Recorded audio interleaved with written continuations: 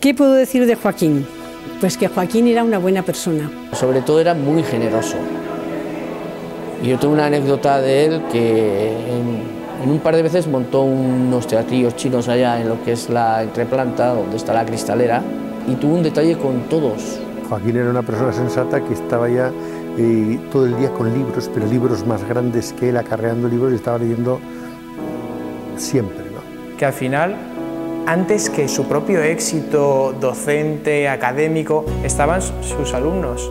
Y sí lo que me llamaba mucho la atención de este hombre, aparte de la cultura que tenía, porque era llegar, venía solo y acababa, la verdad, que rodeado de alumnos, de las conversaciones tan interesantes que tenían. Y siempre se tomaba todo lo que hacía con, con una intensidad muy grande, y le ponía mucho entusiasmo y mucha pasión.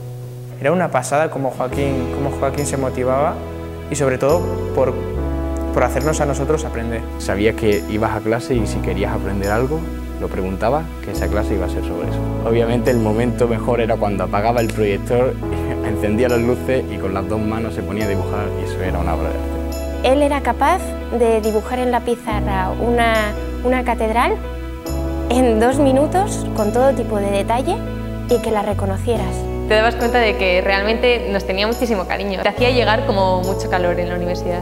Hacía escuela.